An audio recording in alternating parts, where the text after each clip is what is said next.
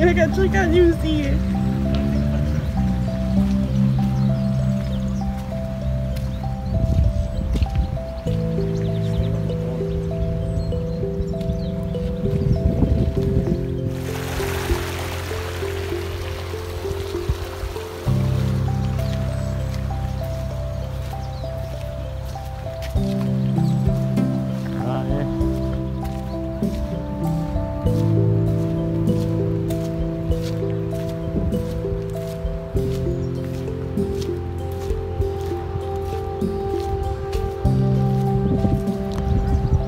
Stimmt, Mann.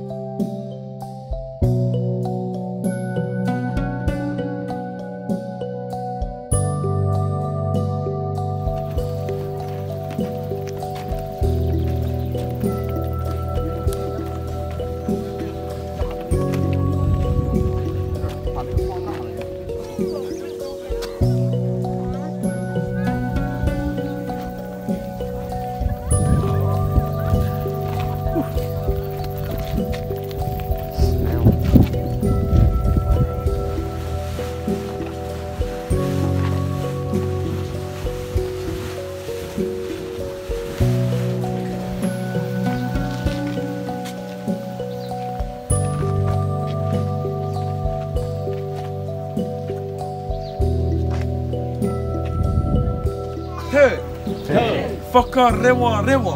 Whaka rewa rewa. Tanga o te ope. Tanga o te ope. Taua awahia.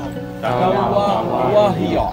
Fabulous, I guess. Yeah, they're all over there. Oh, right underneath your leg, Jesse.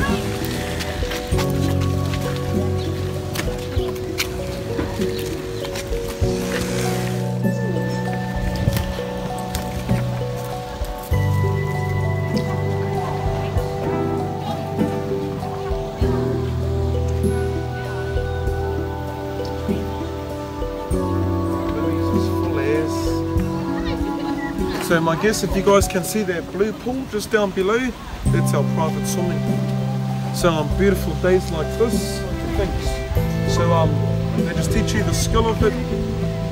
Oh, so you can make your lifestyle. Te whakare wā rewa tanga te tūngā, te ope tau wā wā hi ki konei ki te pui ā. Me nā ka pātai me anui o tēnei. Nei, nei,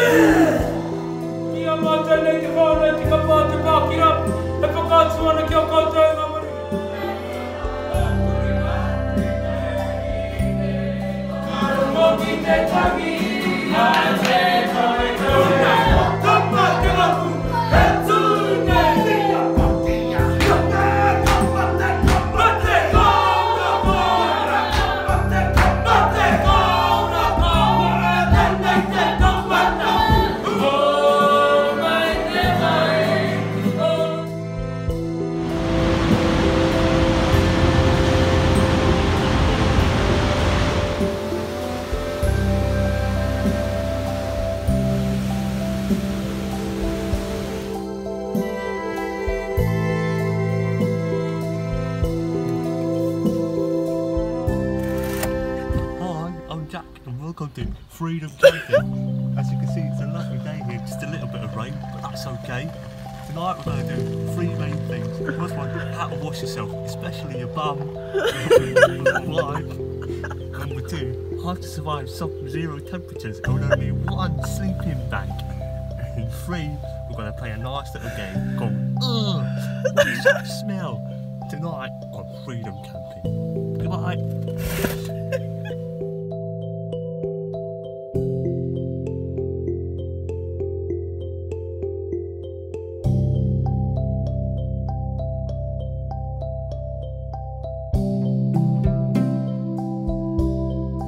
Thank you.